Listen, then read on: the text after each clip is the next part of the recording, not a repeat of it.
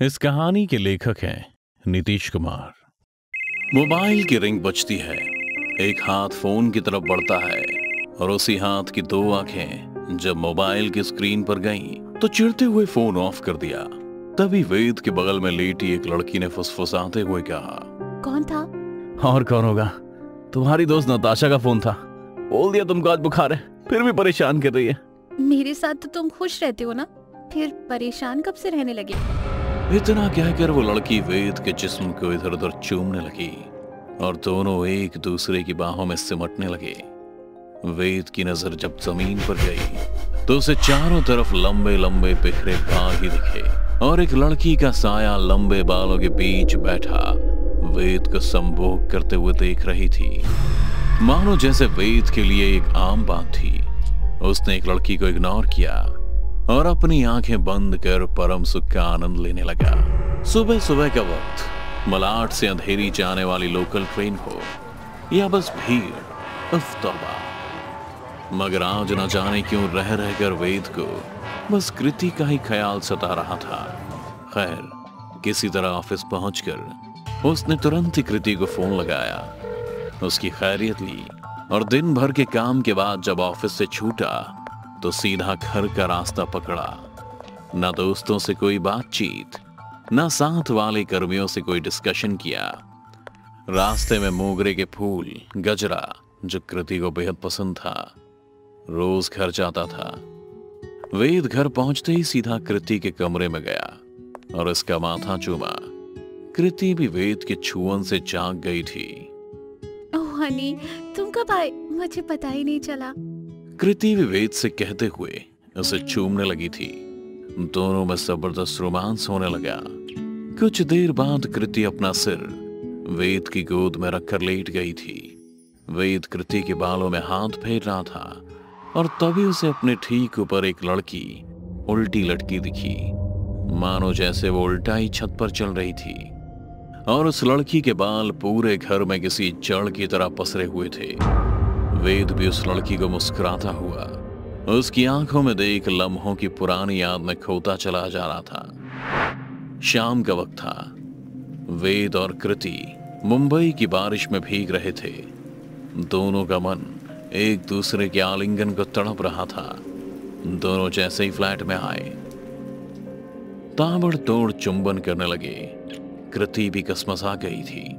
उसने वेद को खुद से दूर करते हुए कहा ऐसी भी क्या बेसब्री है, वेद? मैं कहीं भागी थोड़ी ना जा रही हूँ। इतना कहकर कृति सीधा बेडरूम में चली गई और दरवाज़ा बंद कर लिया। वेद दरवाजे की तरफ़ बढ़ ही रहा था कि तभी दरवाजे के आर पार होते हुए वही लंबे बालों वाली लड़की निकल के वेद के सामने खड़ी हो गई। वेद बस उस लड़की को देखते हुए मुस्कुरा रहा था। तभी कृति ने बाथरूम के अंदर से ही कहा थोड़ा रुक जाओ, बाबा। कपड़े तो चेंज कर लूँ। ड्रेस चेंज करके कृति उस लंबे बालों वाली लड़की से आर पार गुजरती हुई सीधा वेद की गोद में आकर बैठ गई। बड़ा प्यार उमड़ रहा है बड़ी मेहरबान अभी तो थोड़ी देर पहले यूँ हाथ छुड़ा के भाग गई थी, जैसे हम आपके कोई ना हो, पर आए हो। वेद कृति से कह रहा था कृति वेद के सीने पर अपने दांत गड़ाए हुए उसे उत्तेजित कर रही थी। कि अचानक ही वेद का सीना छिल गया, जिसके दर्द से वेद ने तुरंत ही कृति को बालों से पकड़ दूर करते हुए कहा, जब जब तुम मेरे से दूर होती हो ना, मेरा मन करता है कि तुम्हें मार डालू। इतना कहकर वेद कृति के होठों को चूमने ही जा रहा था कि अचानक ही उसका ध्यान भटका और अगले ही पल उसने देखा कि उसके हाथ में कृति के सिर्फ़ बाल हैं, जिन्हें ले जाकर उसने अलमारी की दराज में रख दिया और आईने के सामने बैठकर रोने लगा। तभी कृति ने पीछे से आकर उसके कंधे पर हाथ रखा और उसके आँसू पूछने लगी। वेद ने भी कृति का माथा चूमा और उसे गले लगाते हुए कहा तुम मुझे छोड़कर कभी नहीं जाओगी ना? अगर तुमने ऐसा सोचा भी तो मैं तुम्हें मार दूँगा। नहीं कभी नहीं जाऊँगी। मैं कहाँ जा रही हूँ? तुम्हारे पास ही तो हूँ ना? वेद उसे उठाकर सीधा बेडरूम में ले गया फिर उसका माथा थपथपाते हुए उसे सुला दिया। कृति को गहरी नींद में सुलाने के बाद, वेद ने वापस आकर अपने लिए खाना ऑर्डर किया और लैपटॉप पर कुछ काम करने लगा। तभी वेद की नज़र फर्श पर गिरे लाल रंग पर गई। शायद वो खून था। वेद ने तुरंत एक कपड़ा लिया और उसे साफ़ करने जा रहा था कि उसे वही लंबे बालों वाली लड़की टेबल के नीचे अपना ही मांस खाती दिखी। वेद एकटक उस लड़की को देख मुस्कुरा रहा था। कि अचानक ही डोर बेल बजी?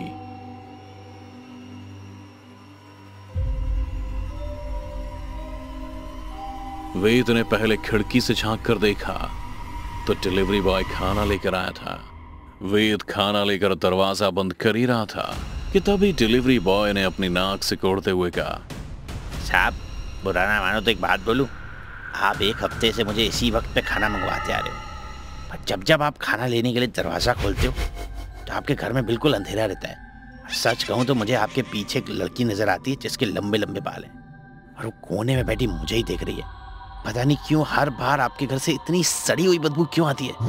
भाई रूम फ्रेशर वगैरह मारने का ना साहब? डिलीवरी बॉय की सारी बातें सुनने के बाद वेद ने कहा अच्छा मज़ाक कर लेता है तू? कपिल के शो में ट्राई क्यों नहीं करता हाँ? इतना कहकर वेद ने दरवाज़ा बंद कर लिया। वेद अभी टेबल पर खाना लगा ही रहा था। कि तभी कृति रेंगते हुए वेद के पास आ रही थी और उसके ठीक पीछे वो लंबे बालों वाली लड़की भी। कितना वक्त हो गया ना हम दोनों को एक साथ बाहर डिनर किए हुए। हाँ अनी नेक्स्ट संडे हम ज़रूर बाहर जाएँगे। वेद ने कृति से कहते हुए उसे अपनी बाहों में कस के भर लिया। कृति भी उसकी बाहों में सिमटती ही चली जा रही थी। और अगले ही पल जब वेद ने खाना प्लेट में निकाला तो सिर्फ़ बाल ही बाल निकले। वो भी खून से सने हुए। वेद ने तुरंत ही प्लेट खुद से दूर की और कृति को बाहों में भरकर बेडरूम की ओर चल दिया। कृति के सिर से लगातार बाल झड़ रहे थे कि तभी बेडरूम का दरवाज़ा खुला और फिर बंद हो गया। एक लंबे रोमांस के बाद दोनों सो चुके थे। अगली सुबह वेद ब्रेकफास्ट बनाकर ऑफ़िस निकल गया और जब वापस घर आया तो बहुत सारे deo perfume spray room freshener और बुके अपने साथ लेकर आया। रूम फ्रेशनर और परफ्यूम और डियो की खुशबू से सारा घर महक रहा था। फिर रोज की तरह वेद ने अपने लिए खाना ऑर्डर किया। वो डाइनिंग टेबल पर बैठा डिलीवरी बॉय का इंतज़ार कर ही रहा था कि उसके ठीक सामने वो लंबे बालों वाली लड़की बैठी, अपने ही पैर नोच नोच कर खा रही थी। तभी डोरबेल बजी। वेद ने खिड़की से देखा तो दरवाजे पर डिलीवरी बॉय खड़ा था। वाह साहिब क्या झकास गरगम के लाए पर एक लाइट तो जला लेते। इतना कहकर डिलीवरी बॉय वेद के कंधों के किनारे से झांकता हुआ अंधेरे को देखने लगा। पर अगले ही पल उसके पैरों तले ज़मीन खिसक गई क्योंकि जिस लड़की को वो ढूंढ रहा था वो कहीं और नहीं बल्कि वेद के कंधे पर ही बैठी हुई थी। इस पर वेद बोला ऐसा कुछ नहीं है मेम साहब अंदर ही है। अपन समझ गया साहिब। पक्का शादी की सालगिरह होएगा। ऐसी सजावट तो तभी होती है। डिलीवरी बॉय की बात सुन वेद की आँखों में आँसू आ गए थे। उसने तुरंत ही दरवाज़ा बंद किया और जाकर कृति से लिपट कर सिसक सिसक कर रोने लगा। कृति ने भी बिना कुछ कहे वेद को अपनी बाहों में भर लिया और वो लंबे बालों वाली लड़की भी वेद से लिपट खून के आँसू रो रही थी। तीनों की सिस्कियों से कमरा गूंज रहा था।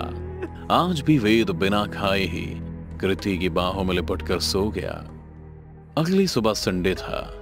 वेद बाज़ार से एक बड़ा सा फ्रीजर लेकर आया था।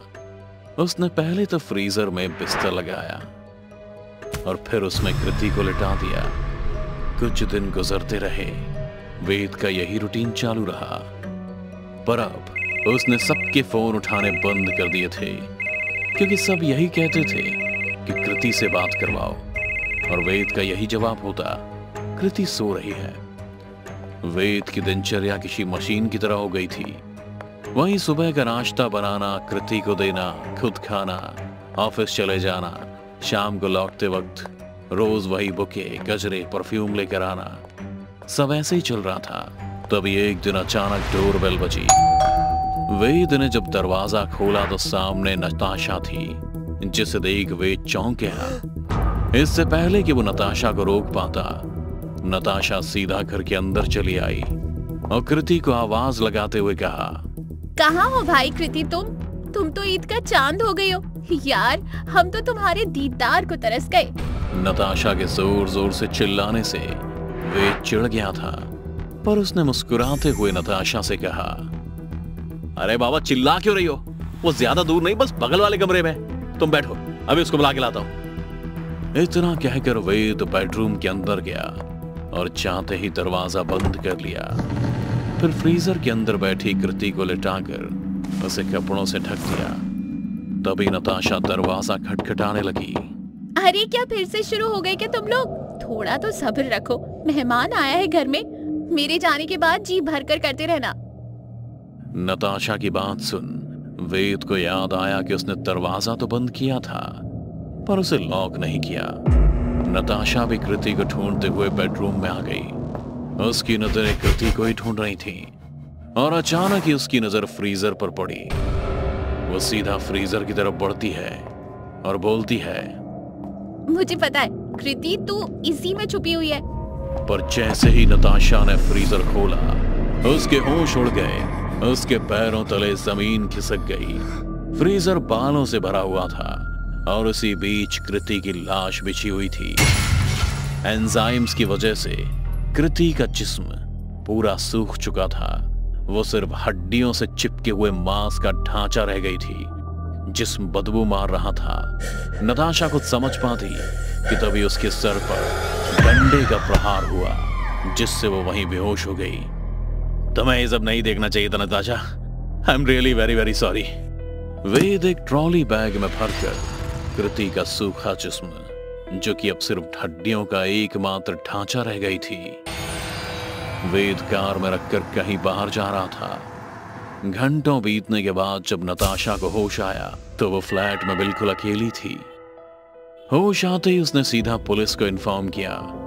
मामले की गंभीरता को भाप पुलिस भी तुरंत हरकत में आ गई थी। पुलिस पर वेद का फ़ोन साइबर सेल वालों ने ट्रैक किया। उसकी लोकेशन पुणे एक्सप्रेसवे हाईवे के आसपास दिखाई दे रही थी। पुलिस जब नताशा को लेकर उस जगह पर पहुँची तो पता चला कि वो एरिया बहुत पुराना कब्रिस्तान था और गेट के बाहर वेद की गाड़ी भी खड़ी हुई थी। पूरा कब्रिस्तान छानने के बाद वेद कृति की लाश के साथ एक कब्र के गड्ढे के पास दिखाई दिया। पुलिस ने वेद को देखते ही उसे वॉर्न किया। अपने आप को पुलिस के हवाले कर दो। पुलिस कुछ नहीं करेगी डरमी से पेश आएगी।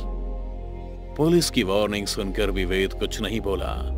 लेकिन जब पुलिस आगे बढ़ने लगी तो वेद ने चीखते हुए कहा, प्लीज़, मुझे मेरी कृति के साथ रहने दो। अगर किसी ने मुझे कृति से अलग करने की कोशिश की तो मैं खुद को गोली मार लूँगा मैं बस अपनी कृति के साथ ही ज़िंदा दफन होना चाहता हूँ। नताशा फिर भी वेद के थोड़ा और करीब जाती है और उसे समझाते हुए कहती है देखो पागलपन मत करो कृति मर चुकी है। आखिर तुम क्यों अपनी ज़िंदगी खराब कर रहे हो? लौट आओ वापस। नताशा की बात सुनकर वेद एक बार फिर चीख चीख कर रोने लगा था। उसकी आँखों के सामने उसकी कृति की लाश थी और वो लंबे लंबे बालों वाली लड़की कृति की लाश पर बैठ खून की आँसू रो रही थी। अब तक वेद जिस झूठ को नकारता आ रहा था, आज वही एक सच बनकर उसके सामने खड़ा था। वो लंबे बालों वाली लड़की कोई और नहीं, बल्कि कृति का ही एक साया था। वेद ने कभी भी कृति के साय से प्यार नहीं किया, लेकिन वो कृति की लाश को आज भी बेइंतहा प्यार करता था। पर जैसे ही वेद ने कृति के चेहरे को देखा, कृति भी दोनों बाहें फैलाए वेद को अपने पास बुला रही थी। वेद ने नताशा और पुलिस की आवाज़ पर गौर कर वापस आने का मन भी किया, मगर दूसरे ही पल कृति की रूह का दर्द उससे देखा नहीं जा रहा था, और वो उस लंबे बालों वाली लड़की कृति की लाश में समा कर एक हो चुके थे, जो इस वक्त दुल्हन की तरह सजी हुई थी। पुलिस भी उसे समझाने की नाकाम कोशिश कर रही थी। मगर कोई कुछ समझ पाता। इससे पहले ही वेद ने अपनी गर्दन में रिवॉल्वर लगाकर गोली दाग दी। गोली सीधा खोपड़ी को चीरती हुई आसमान की ओर चली गई और वेद का निर्जीव जिस्म अपनी कृति के ऊपर ही थड़ाम से गिर गया और अगले ही पल दोनों फिसलते हुए कब्र में जा गिरे। कब्र में गिरने के बाद कृति का सिर वेद के सीने पर था, जिन्हें देख ऐसा लग रहा था कि अब जाकर दोनों ने एक दूसरे को पाया हो? नताशा ने जब वेद और कृति को एक दूसरे की बाहों में देखा तो उसकी आँखों से आँसू आ गए थे। वो भी बैठकर दोनों को देख रोने लगी थी। कृति को दिल की बीमारी थी। दो हार्ट अटैक पहले ही आ चुके थे। बाईपास सर्जरी होने के बाद भी कृति को तीसरा अटैक आ गया और वो भी ऐसे वक्त पर आया जब घर में कोई नहीं था। वेद कृति से बेइंतहा प्यार करता था। उसने कृति का ऑफ़िस जाना भी बंद करवा दिया था, मगर उसकी एक जिद की वजह से कृति ऑफ़िस चली जाती थी। कुछ दिनों से कृति ज़्यादा ही थकी थकी रहने लगी थी। शायद उसकी कमज़ोरी के कारण उसकी बीमारी थी और जिस बात का डर था, वही हुआ। जब कृति को तीसरा अटैक आया, उस वक्त घर में कोई नहीं था। इस तरह सोई कृति दोबारा उठ भी ना सकी और मौत का सदमा वेद को बर्दाश्त नहीं हुआ, जिससे वो अपना मानसिक संतुलन खो बैठा और चाहकर भी कृति को मरा हुआ नहीं मान पाया। और आखिर इसी पे इंतहा प्यार के पागलपन में उसने अपनी जान दे दी। डर से भरी ऐसी कहानी को देखते रहने के लिए अभी सब्सक्राइब करें टोरो टीवी हॉरर हिंदी। और अगर आप चाहते हैं कि आपकी भी डरावनी कहानी देखें दुनिया वाले तो अभी भेजिए अपनी कहानी टोरो टीवी के मेल एड्रेस पर। हो सकता है अगली रूह कपा देने वाली कहानी आपकी हो।